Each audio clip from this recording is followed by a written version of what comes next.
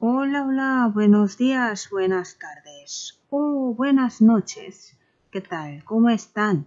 네, 안녕하세요. 미라솔 스페인어 술쌤입니다. 오늘은 여러분들의 전투력을 또 올려줄 수 있는 그런 스페인어 표현을 가지고 왔습니다.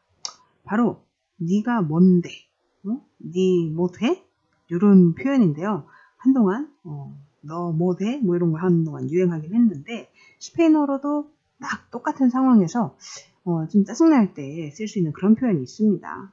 어, 우리 표현부터 한번 읽어볼게요. ¿Quién te crees que eres? 조금 더 빨리. ¿Quién te crees que eres? 좀 더 약간 짜증나는 투로. ¿Quién te crees que eres? 여러분들이 읽어볼게요.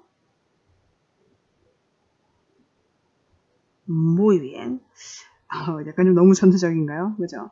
이거 사실 직역하면은요, 너는 너를 뭐라고 생각하냐? 넌 너를 뭐라고 믿냐? 이런 뜻이에요. 그러니까 네가 뭔데? 그죠? 너 뭐라도 되니? 이런 투로 이제 말할 때 이 표현을 쓰실 수 있다는 거죠. 누가 무례하게 어? 내 나한테 어떤 말을 한다든지 아니면 뭐 별로 영양가도 없는 말인데 뭐 이래라 저래라 참견을 한다든지 그럴 때 그냥 이 한 줄만으로 어, 리액션이 되겠죠. 그죠? ¿Quién te crees que eres? 하고 끝내면 돼요. 근데 이제 요 상태에서 조금 더 살을 붙여서 표현할 수도 있어요. 뭐 예를 들어서 네가 뭔데 나한테 그런 말을 하냐? 네가 뭔데 뭐 나를 평가하냐? 이렇게 쓰는 거를 우리가 한번 예문으로 살펴보겠습니다. 자, 일단 우리가 방금 봤던 ¿Quién te crees que eres? 여기까지는 똑같이 옵니다. 그리고 뒤에 전치사 빠라를 써가지고 문장을 이어볼 거예요. 첫 번째입니다. 네가 뭔데 나한테 뭐 그런 말을 하냐? 좀 나쁘게 말하면 그딴 말을 하냐? 뭐 이렇게 할 수 있잖아요. 스페인어로 ¿Quién te crees que eres para decirme eso? 한 번 더. ¿Quién te crees que eres para decirme eso? 여러분들 읽어볼게요.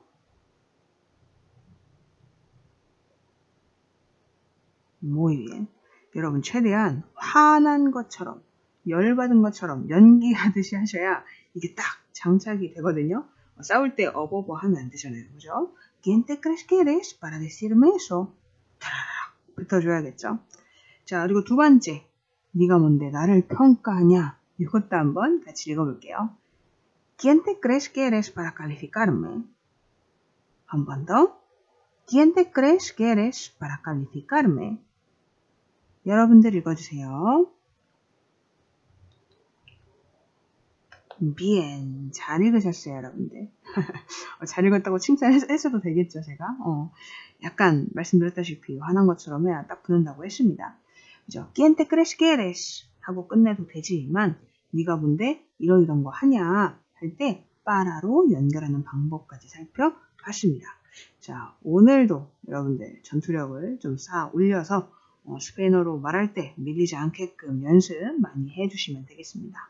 자, 오늘은 여기까지 마무리하고요. 우린 다음 이 시간 다른 표현으로 또 만나볼게요. Nos vemos. Chao, chao.